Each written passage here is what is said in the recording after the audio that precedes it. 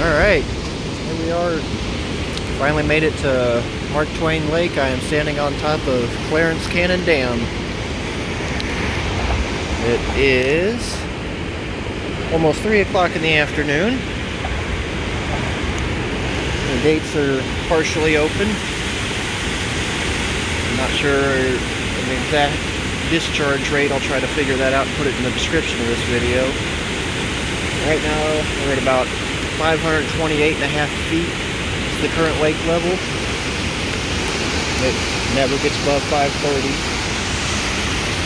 This phone over here so you see water coming out of the gate.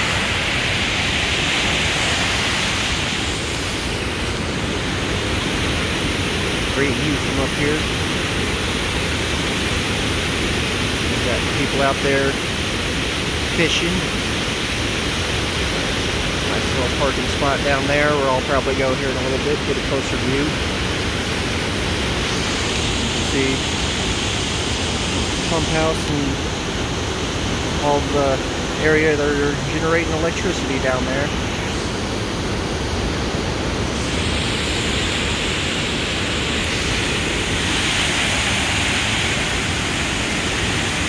Yep, that is a lot of water. Salt River as it heads east towards New London and the Mississippi River.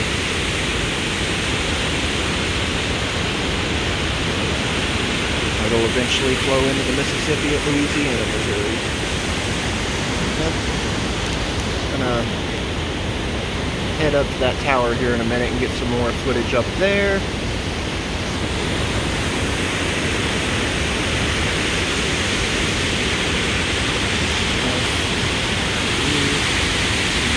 Flying around down there fishing, I'm sure. Hopefully you guys can see the rainbow.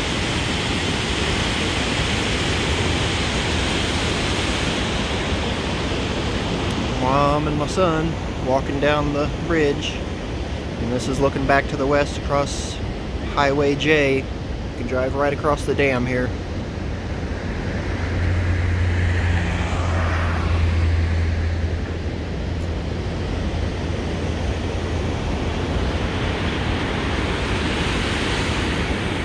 Beautiful view. There is no one here on this Wednesday afternoon.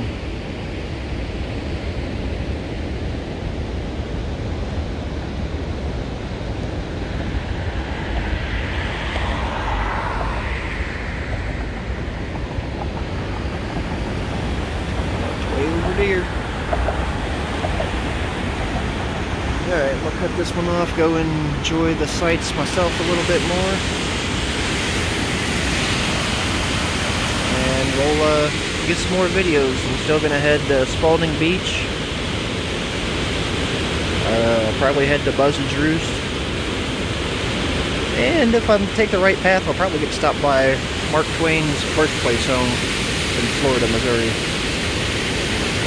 Well, we'll see you fellas on the next one.